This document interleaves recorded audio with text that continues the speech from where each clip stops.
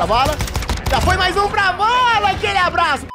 Fala pessoal, eu sou o Capra, trazendo pra vocês mais um vídeo de Call of Duty Modern Warfare 2, mais um vídeo da Season 3, e no vídeo de hoje, uma das duas novas armas que chegou ao jogo, a Cronen Skull está aqui, e muita gente disse que ela é a nova Hanset e tudo mais, ela pra quem não tá ligado é liberada aqui no passe de batalha no, na categoria C11, ou você pode também pegar aqui na C18, com o Black Cell já vai direto, e ela é uma nova Assault, um fuzil de batalha, que muitos, como eu falei, chamam ela da Hanset, muito pela semelhança da aparência, mas eu diria que ela não é muito parecida no feeling. E ela, normalmente, assim, jogando, é uma arma meh, nada demais. Porém, ela tem um segredo, que eu vou mostrar pra vocês na segunda partida qual que é o segredo dela. Na segunda eu tava usando essa classe, inclusive, as duas partidas a gente dá um massacre, mas na segunda vocês vão ver o grande potencial dessa nova Assault aí, a Cronen Skull. Então é isso, sem mais demora, só vai. Bom, aqui pessoal, estamos de volta em Rimmel Match Expo e eu tenho uma pergunta pra fazer pra vocês, bem... Meu Deus do céu, quanta sniper.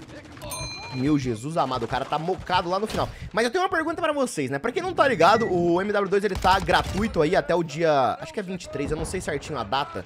Ai, meu Deus. Uh, é, uh, é, tem uma parede aqui. Alô, Infinity Ward? Como é que eu tomei? Calma aí que eu mudei pra ela pra semi-automático. Eu queria sniper o cara lá de longe e apareceu um cara aqui. Pera aí, pera aí, pera aí. Calma que eu já falo mais, porque tem muita gente ali. A gente já pode sair meio... Ah, mano. O cara não quer morrer não, velho. Mais um, ok. Calma que eu tenho que mudar ela pra automático. Tem bastante gente por aqui. Os caras eu acho que tem o E20, então ele sabe que eu tô nessa direção. Vou jogar uma granada ali porque vai assustar ele. É, não assustou e minha granada curou, né? Graças a Deus. Mas enfim, como eu ia falar, pra quem não tá ligado, o jogo tá gratuito, ele vai ficar grátis até sábado, até segunda, então vocês podem testar aí, quem quiser ver as novidades da Season 3, ou a galera do Warzone se quiser upar arma, tem até uma playlist de shipment, né? E aí são várias playlists que ficam gratuitas, não é o jogo inteiro. E aí tem uma playlist que tá gratuita, que é essa que eu tô jogando, que chama Proximidade, que teoricamente é uma playlist de mapas pequenos em vários modos. Primeiramente, eu só acho TDM, então não sei se eu errei isso aqui, confundi, e na verdade não são vários modos, e sim só TDMzão.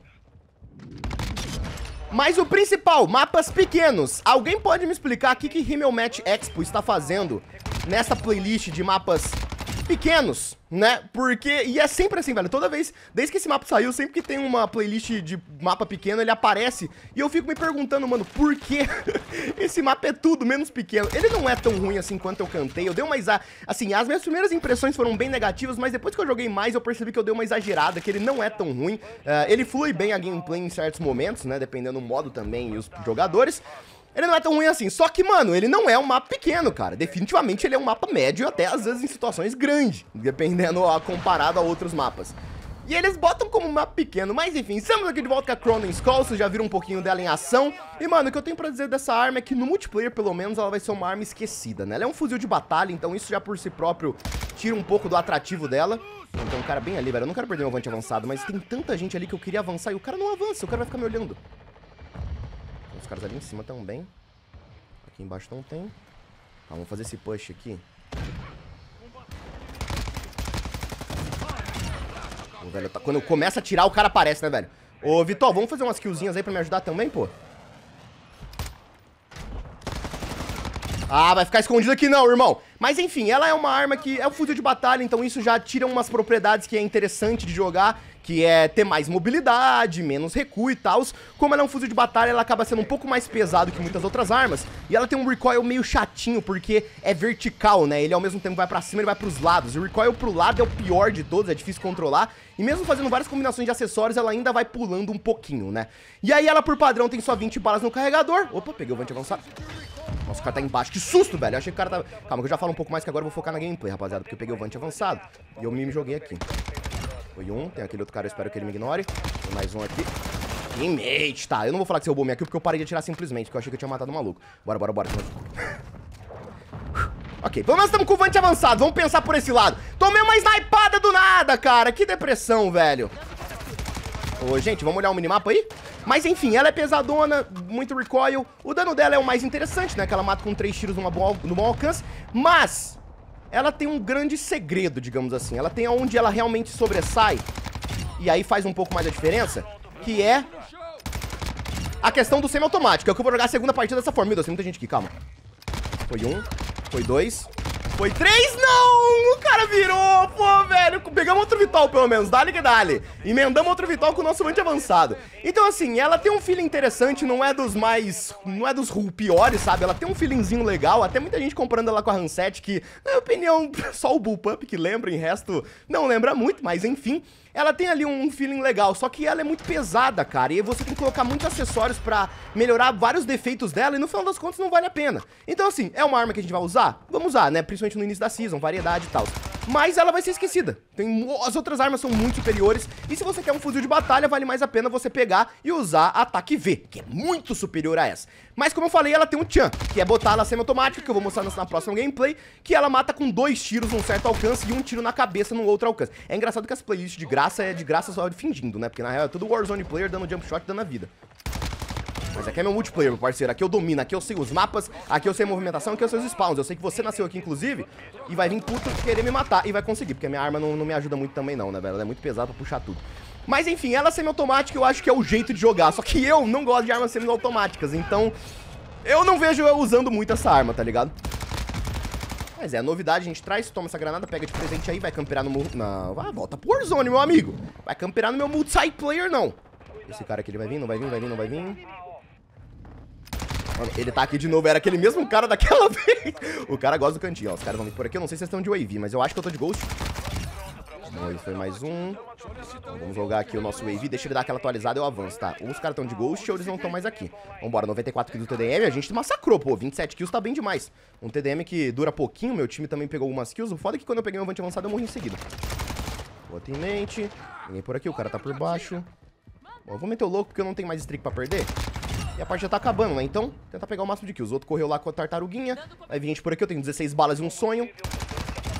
E é isso, mais uma kill, 29, quase 30. E é, velho, primeira partidinha pra vocês sentirem como ela é de, de automática, né? Agora na segunda eu vou jogar com ela semi. O que muda do semi é que eu vou tirar o carregador, porque semi-automático, 20 balas dá, não precisa. E vou botar um red dot pra ter a prisão a mais. E vocês vão ver a diferença, o quanto essa arma muda bem, o quanto ela, né, dá um step up legal. Mas é isso, vou procurar mais um e quando achar eu volto. Bom, aqui pessoal, estamos de volta em Farm 18 no máximo Olha só, tem um inscrito, Matheus Macedo, tamo junto, mano E agora eu vou usar com ela, como eu disse pra vocês, um segredo dela que é ela semi-automática, né? Pra quem não tá ligado no MW2, é o primeiro código que quando você muda o tipo de tiro da arma, né? Seja semi pra automático ou automático pra semi, ela muda todas as propriedades.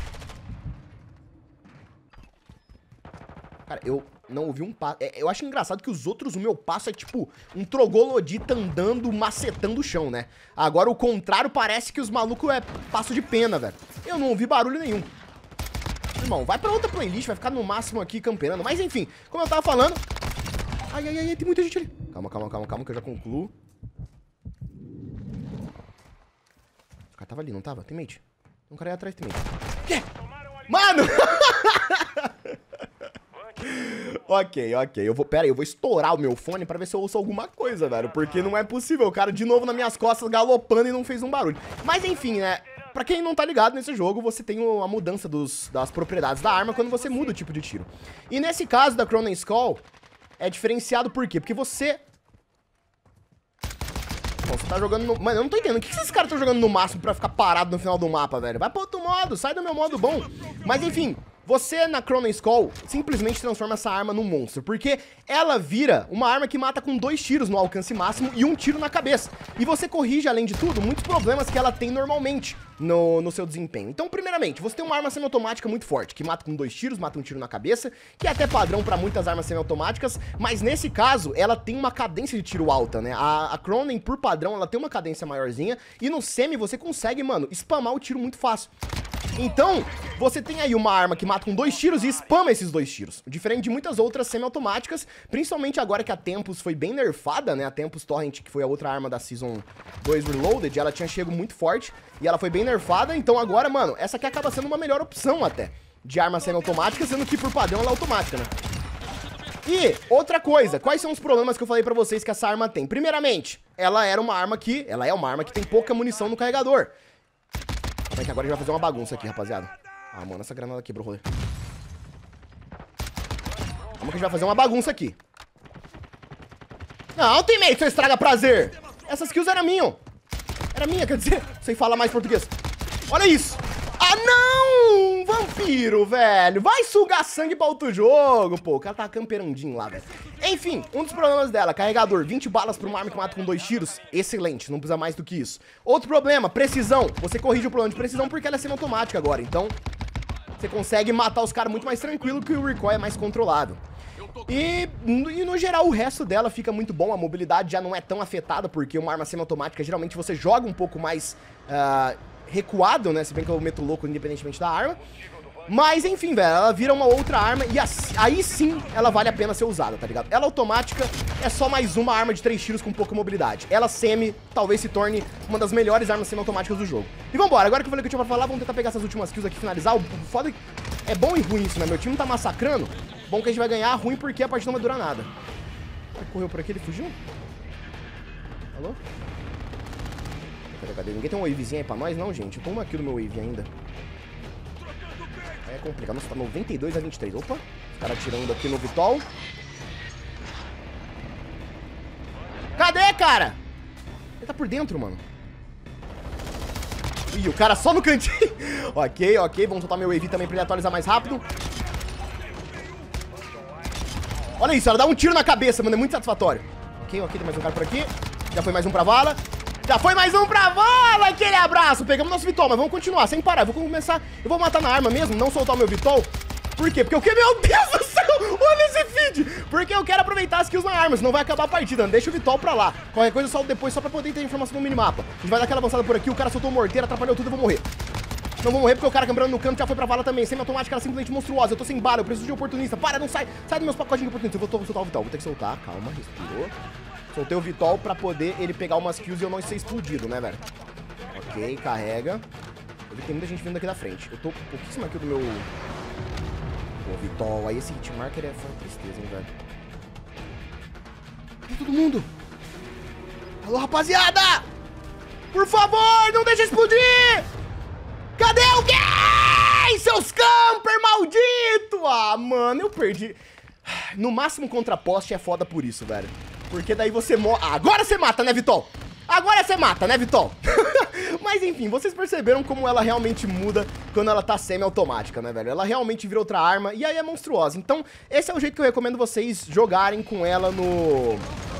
A câmera aqui em cima, boa, Vitol. Esse é o jeito que eu recomendo vocês jogarem com ela no multiplayer. Warzone, como eu falei, eu acho que a história é diferente. E, mano, muita gente falou que ela é bem parecida com a Han 7. E, cara, eu não acho, cara. Eu acho que, assim, só o Bullpup mesmo lembra, mas tirando isso, ela é uma arma com feeling totalmente diferente. 136, cada kill vale 2, né? Vambora, vambora tentar pegar mais. Eu acho que não dá tempo pra um Vante avançado, velho, mas vamos tentar, né, cara? Foda que eu não tô de tenaço. Eu tô com os perks errados, eu não deveria estar tá usando o mãos leves nesse modo que ganha mobilidade. Isso, Vante aliado, boa, boa, boa. Ah, mano, os caras... Olha isso. É que também quitaram, velho, então, tipo, tem pouco player. Boa. Solta esse Vante, tem um cara vindo por ali. Será que ele vai entrar? Não entrou, ele foi pra lá mesmo. Ai, que delícia! E é isso, rapaziada. Não foram tantas kills, porque os caras quitaram e ficaram escondidos. Eu perdi meu Vante avançado porque explodiu. Mas essa é a Cronen Skull. Uma nova arma que dizem ser a nova Hanset. Eu não concordo, mas ela tem esse segredo de semi-automática. É onde ela brilha e dispara. Se curtiu o vídeo, deixe seu like. Se não conhece, se inscrevam. Valeu, falou, é nóis.